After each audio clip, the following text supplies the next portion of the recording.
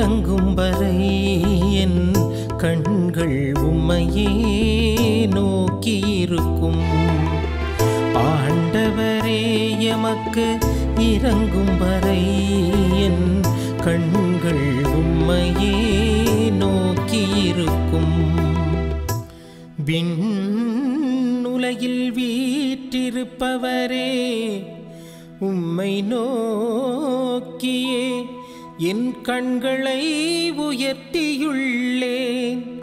பணியாளனின் கண்கள்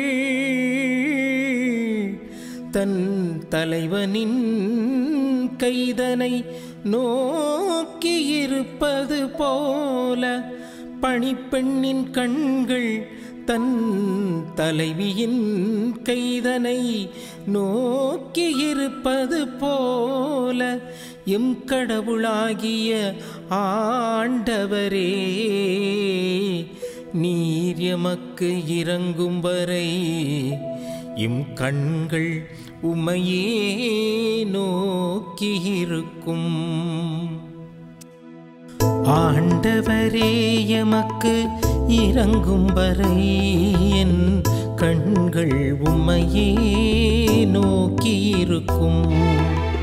ஆண்டவரே எமக்கு இறங்கும் வரை என் கண்கள் உம்மையே நோக்கியிருக்கும்.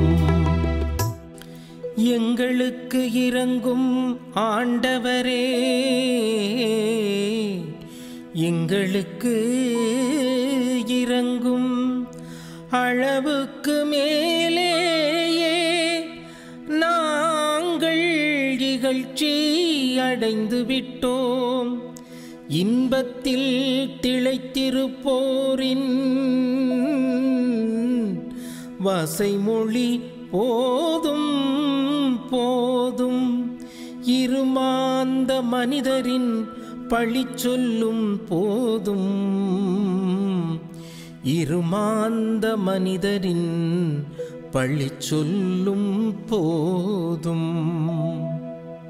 ஆண்டவரே எமக்கு இறங்கும் வரை என் கண்கள் உம்மையே நோக்கியிருக்கும் ஆண்டவரே எமக்கு இறங்கும் வரை என் கண்கள் உம்மையே நோக்கியிருக்கும். இறைமகன் இயேசு கிறிஸ்துவில் பிரியமுள்ள அன்பு சகோதரிகளே சகோதரர்களே உங்கள் அனைவருக்கும் நம் ஆண்டவராக இயேசு கிறிஸ்துவின் அற்புத நாமத்திலே வாழ்த்துக்களையும் வணக்கங்களையும் தெரிவித்துக் கொள்கின்றேன்.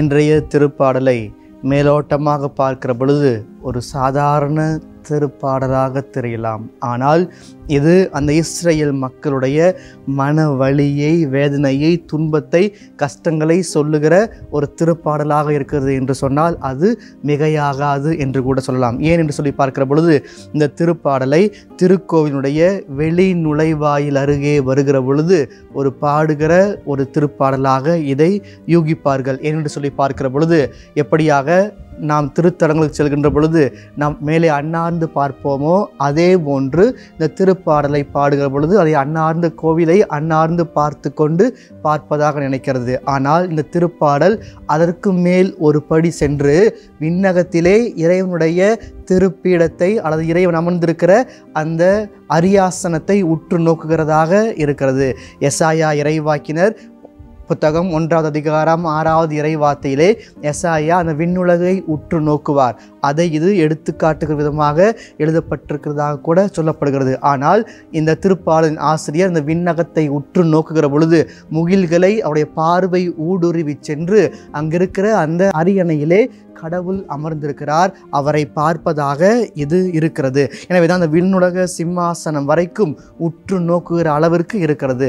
இந்த உலகிலே நாம் எப்படியாக ஆண்டவருடைய திருப்பிடத்தை உற்று நோக்குகிறோமோ அதைவிட மேலாக அந்த விண்ணக திருப்பிடத்தை உற்று நோக்குவது இருக்கும் என்று சொல்லப்படுகிறது. அப்படி பார்க்கிற பொழுது இந்த வார்த்தைகளை எல்லாம் ஒரு சாதாரண மனிதனுடைய வாழ்க்கை வரலாறை சுட்டி காட்டுகிற விதமாக எழுதப்பட்டிருக்கிறது.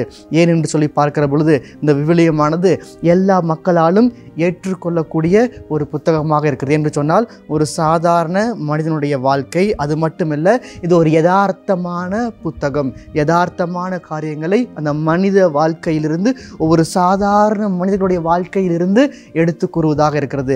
ஆதியாகமத்திலிருந்து திருவெளிபாடு வரைக்கும் எல்லா புத்தகங்களையும் பார்க்கிற பொழுது அதில் இருக்கிற ஒவ்வொரு மனிதர்களை பற்றி சொல்லப்படுகிற பொழுது இது ஒரு யதார்த்தமான புத்தகமாக இருக்கிறது என்பதை இந்த திருப்பாடலானது சுட்டி காட்டுகிறது அப்படி பார்க்கிற பொழுது இந்த சாதாரண மனிதனுடைய வாழ்க்கையில் நடப்பது அனைத்தும் இதில் இருக்கிறது. ஆனால் அது ஒரு படி மேலாக கடவுளுடைய திட்டமாக இருக்கிறது என்பதை இந்த திருப்பாளரின் ஆசிரியர் மிக தெளிவாக சுட்டி காட்டுகிறார் அப்படி உற்று நோக்குகிற பொழுது இந்த உலக வாழ்க்கையிலே ஒரு சாதாரணமாக ஒரு தலைவனுடைய மனைவி அவருக்கு கீழ் பணி செய்கின்ற அந்த பணியாளர்கள் எப்படியாக அந்த தலைவனுடைய கைகளையும் வார்த்தைகளையும் உற்று நோக்கி கொண்டிருப்பார்களோ அதே போன்று உற்று நோக்குகிறார் என்று சொல்லி ஒரு சாதாரண வரிகளிலேயே இவை அனைத்தும் முடிந்து விடுகிறது. எனவே தான் இந்த ஒவ்வொரு வார்த்தைக்கும் முக்கியத்துவம் கொடுக்கப்படுகிறது. அப்படி பார்க்கிற பொழுது அந்த தலைவனுடைய ஒரு கை அசைவு கூட அவர்களுக்கு ஒரு மொழியாக இருக்கிறது. அதை புரிந்து கொண்டு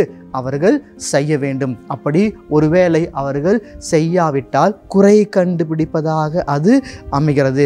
குறை கண்டுபிடிப்பது மட்டுமல்ல தப்பித்து கொள்ள முடியாத ஒரு மனிதர்களாக அவர்கள் இருக்கிறார்கள் என்று சொன்னால் அவர்கள் பணி செய்கிறார்கள். எப்படி அந்த பணியாளர்கள் உற்று நோக்குவார்களோ அதே ஒன்று கடவுளுடைய திருப்பிடத்தை விண்ணக அரியணையை நீங்களும் நானும் உற்று நோக்க வேண்டும் என்று இது சொல்லப்படுகிறது. எனவே தான் இந்த திருப்பாடலுக்கு திரும்பி பார்க்கிற ஒரு திருப்பாடல் என்று கூட சொல்லலாம். சாதாரணமாக பார்க்கிற பொழுது நம்முடைய இல்லங்களிலே வயதானுகள் சொல்லுவார்கள் நாங்கள்லாம் அந்த காலத்தில் என்று சொல்லி சொல்லுகிற பொழுது நாம் சாதாரணமாக சொல்லுவோம். இந்த பெருசுகளுக்கு ஒரு இதே இல்லை. எல்லாம் உடனே சொல்ல ஆரம்பிச்சுறாங்க ஆனால் அவர்கள் சொல்லுகிற அந்த வார்த்தையிலே வலி வேதனை இருக்கும் என்பதை இந்த திருப்பாடல் தெளிவாக சுட்டி காட்டப்படுகிறது எனவே தான் இந்த திருப்பாடலிலே அவர் தெளிவாக சொல்கிறார் நான் தவறு செய்திருப்பேன். என் மீது மனம் இறங்கும் என்று சொல்லி எப்படியாக அந்த அடிமைத்தன வீட்டிலே அவர்கள் அடிக்கப்பட்டார்கள் ஒடுக்கப்பட்டார்கள் நொடுக்கப்பட்டார்கள் அடிமை வேலை வாங்கப்பட்டார்கள் எவ்வளவு கீழ்த்தரமாக நடத்தப்பட்டார்கள் என்பது சொல்லி புரிய வைக்க இயலாத ஒன்றாக இருக்கிறது என்று சொன்னால் அன்றைய காலகட்டத்திலே அது அவ்வளவு கொடூரமாக இருந்திருக்க வேண்டும். அதை இவர் தெளிவாக ஒரு சில வார்த்தைகளிலேயே சுட்டி காட்டுகிறார் எனவேதான் எத்தனை ஆண்டுகளுக்கு பிறகு அவர் யோசித்து பார்த்தார் என்று தெரியவில்லை. ஆனால் அந்த வலி வேதனை துன்பம் கஷ்டம் தலைமுறை தலைமுறையாக சொல்லப்பட்டு வந்து அவர்கள் ஆண்டருடைய திட்டத்திற்கு கீழ்ப்படிய வேண்டும். ஆண்டருடைய செயல்களில் அவர்கள் நிலைத்திருக்க வேண்டும். திருக்கோவிலை உற்று நோக்க வேண்டும். திருக்கோவிலை ஆண்டவருக்கு பணி செய்ய வேண்டும் என்று சொல்லி அந்த திருக்கோவில் மீது கொண்டிருக்கிற தாகத்தையும் தாங்கள் அவர்களுக்கு எதிராக செய்த பாவங்களினாலே நாம் நொறுக்கப்பட்டோம் என்பதையும் இது சுட்டிக்காட்டுகிறது. எனவேதான் மனம் இறங்கும் என்று சொல்லி இறுதியாக இன்றைய திருப்பாடலிலே இந்த திருப்பாடலின் ஆசிரியர் சொல்லுவதாக நாம் நிறைவு செய்கிறோம். எனவே நாம் ஒவ்வொரு முறையும் திருத்தலங்களுக்கு ஆலயத்திற்கு செல்லுகிற பொழுது எந்த அளவிற்கு நாம் கண்களை உயர்த்தி பார்க்கிறோம் என்று சிந்தித்து பார்ப்போம். அப்படி பார்க்கிற பொழுது நம்மை அறியாமலேயே ஒரு உணர்வு வரும். கண்களிலே தண்ணீர் வடியும். அது நம்முடைய வலி வேதனை துன்பங்கள் கஷ்டங்களை சுட்டி காட்டுகிறது அந்த இடத்திலே ஆண்டவரை பார்க்கிற பொழுது அவரை சந்திக்கிற பொழுது அவரோடு பேசுகிற பொழுது அவருடைய ஆறுதலான வார்த்தைகளை நாம் கேட்கிற பொழுது திருப்படியிலே பங்கெடுக்கிற பொழுது அது நமக்கு ஆற்றலை கொடுக்கிறது என்பதை திருப்பாளன் ஆசிரியர் தெளிவாக சுட்டி காட்டுகிறார் அதே போன்று நாமும் கண்களை உயர்த்துவோம். நம்முடைய பார்வையானது முகில்களை ஊடுருவி சென்று விண்ணகத்திலே அரியணை மீது வீற்றிருக்கிற ஆண்டவரை உற்று நோக்குவோம். அவர் உங்களுக்கு நிறைவான ஆசிரியளிப்பாராக செபம். எங்களை எந்நாளும் அன்பாய் காத்து நேசித்து வழிநடத்தும் எங்கள் அன்பின் பரலோக பிதாவே.